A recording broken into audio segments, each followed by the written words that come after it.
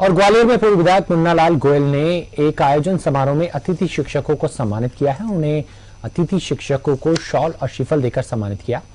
Media से बातचीत के दौरान उन्होंने कहा कि विधानसभा उपचुनाव के बाद क्षेत्र के सभी स्कूलों में मेंटेनेंस का कार्य किया जाएगा और बेहतर माहौल बनाने का प्रयास किया जाएगा।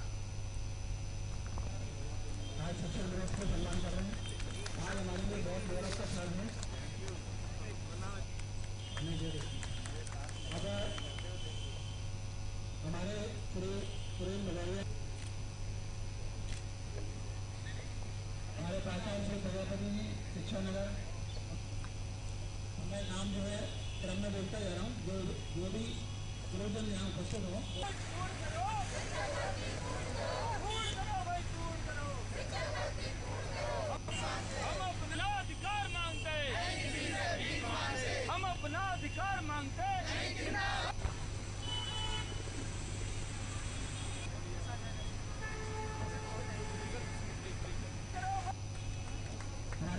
अधिकारी माननीय लंबी सिंह मैडम हैं उन्होंने हमारे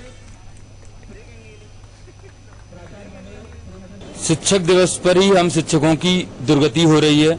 जैसे कि हमारे पूर्व विधायक श्री मुन्नालाल गोयल जी शिक्षकों का सम्मान कर रहे हैं और कहीं ना कहीं हम नव चयनित शिक्षकों का अपमान हो रहा है। हमारी कहीं भी सुनवाई नहीं हो रही है। लेकिन सरकार हमें हमें बिल्कुल देखना ही नहीं चाहती, हमारी ओर देखना ही नहीं चाहती, हमारी व्यथा नहीं सुनना चाहती। और आज जो शिक्षक दिवस पे हम कहना चाहेंगे, आज हम सभी ग्वालियर के जितनी भी टीम है, पूरी टीम इकट्ठी हुई है और आज हमारा प्रोग्राम है कि हम, जब सरकार हमारी नहीं सुन रही है, कोई हमारी नहीं सुन रहा है तो हमारे महापुरुष जो वर्तमान में हमारे साथ नहीं है, लेकिन जहाँ भी हैं, कहीं ना कहीं हमारे साथ हैं, हमें सुन रहे हैं।